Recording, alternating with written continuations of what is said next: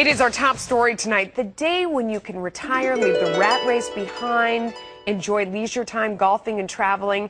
Yeah, well, for most of us, that day is looking further and further away. Sure, the Dow hit a five year high on Friday, but that means if you stayed in, you made no money in the past five years. And don't get me started on taxes. Put it together and it adds up to big delays in retirement. A new study shows nearly two thirds of Americans aged 45 to 60 plan to put off their retirement.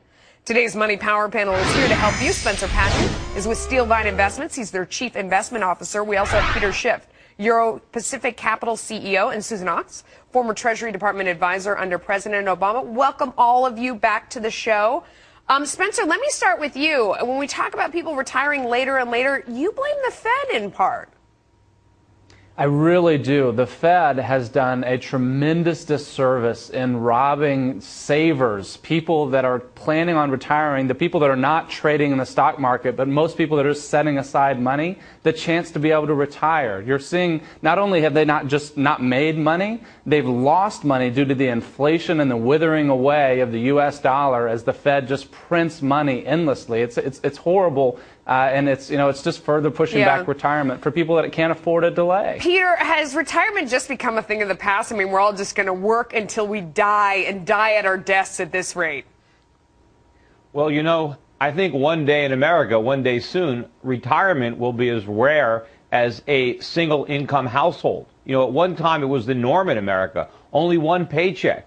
It was very rare for a married woman to work outside the home. Now it's very common. Well, one day it's going to be just as uncommon for somebody to retire. And I agree, it's because of the Fed. It's because we're destroying the value of our money. Look, the stock market is back up to 14,000, or it was briefly on, on Friday, but that's only in nominal terms. The stock market isn't getting more valuable. Our money is becoming less valuable. Yeah. And so if you look at the real value of our assets, they're going down. The cost of living is going up. Healthcare costs, food, energy, everything is getting more expensive. And even if you have these depreciating dollars, what kind of yields can you have? You can't even get 1% on your money in Susan, the bank. This so, is so how depressing. Can you Come on, rescue, rescue. I'm going to be weeping here soon. Rescue me from this. I was just thinking the same thing. No wonder these two are, are feeling so bad about how things look.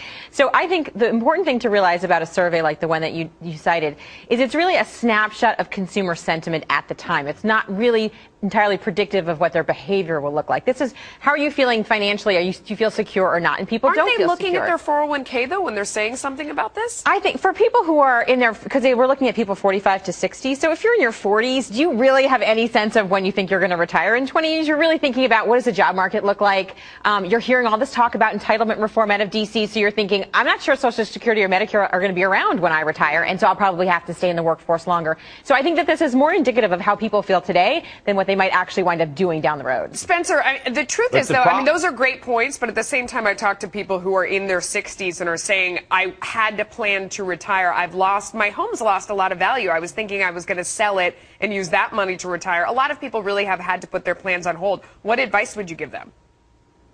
Yeah, and I just want to respond to that because I, think that's people are, are looking at the price of things costing what they cost today versus what they cost 10 years ago and are seeing a dramatic difference. You're seeing prices when you include inflation, include the cost of food and energy, and see gas prices as high as they are now compared to 10 years ago, the price of food versus 10 years ago, tuition for kids 10 years ago, and all they do is extrapolate and say, where are we going to be in 15 years? And that's a really depressing picture about it? So I mean, I got to find some solutions. Peter, I'm going to give you a crack at it. I mean, you buy gold. Yeah. What do you do?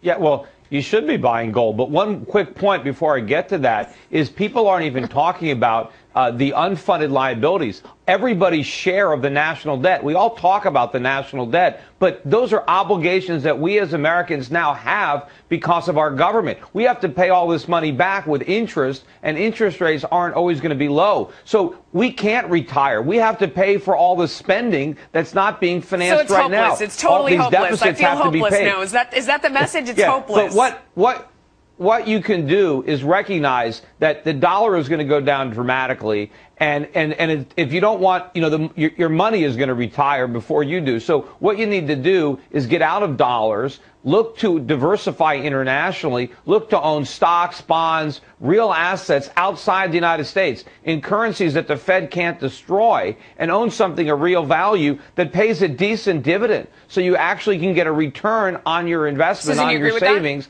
not just watch, watch your savings be ripped out Okay, from under you by I know the I'm Fed. depressed. Susan, do you agree with that?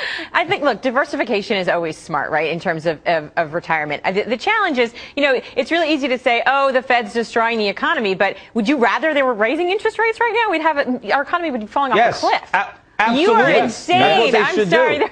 Do. There, there is no way that that would make for a productive economy because the one thing here, and I've said this to you No, before, no. Melissa, the one thing that would fix things here What is we have getting right to, now is hang not a productive hang on, let me economy. It's an inflationary the one bubble. Thing that would fix. Go ahead. The one thing that would fix this right now is getting into a, a, a stronger economic growth scenario, which we don't uh-huh. have. And if, if you start to tighten up interest rates, we are never going to get there. Peter, tightening up interest no, we're rates is never as gonna stupid get it as if we raising keep interest taxes, rates right? low. Aren't they the same amount of stupid? we- tightening up interest rates and also raising taxes both strike me as terrible ideas No, right now. no, I don't want to raise taxes. We want to slash government spending. We want to, we want to liquidate the bad debt. We want to let prices readjust. We need to save. We need to produce. We need to export. We can't just keep borrowing money so we can consume imports. That's how we destroyed our economy. Our saving That's rate not is how actually one of fix the it. highest levels it's been in decades. So we All are right, saving. But- we're going to but leave how- there. I, I'm not sure we it's not solved economic the problem. growth. Eh, Okay, Peter, you're fantastic, but I think we just drove a lot of people to drink tonight. So let's wrap it up. Thank you so much. We'll, we'll have you all back soon with a cocktail or something. All right.